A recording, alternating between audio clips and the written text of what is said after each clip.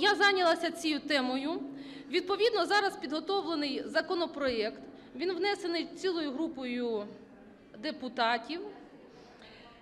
В цьому законопроєкті йдеться про те, що заборонити надання або продовження дії спеціального дозволу на видобування вугілля суб'єктам господарювання приватної форми власності, якщо ділянка надр, яку вони використовують, знаходиться в межах родовища шахти, ділянки шахти, поля шахти, якщо це державне вугледобувне підприємство або частка держава більше 50%.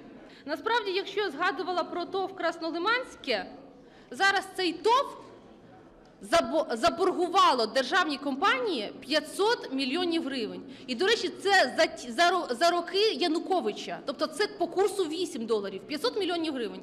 Тобто, насправді, підстави знайти, щоб скасувати ці ліцензії, можна.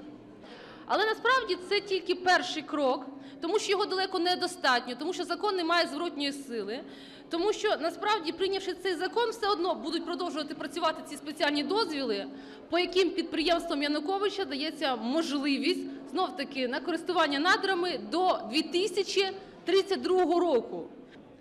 Міністерство екології повинно переглянути спеціальні дозволи, видані приватним фірмам, яким їм далося в користування надра на державних шахтах. І повірте, можна знайти безліч підстав, щоб ці ліцензійні договори скасувати.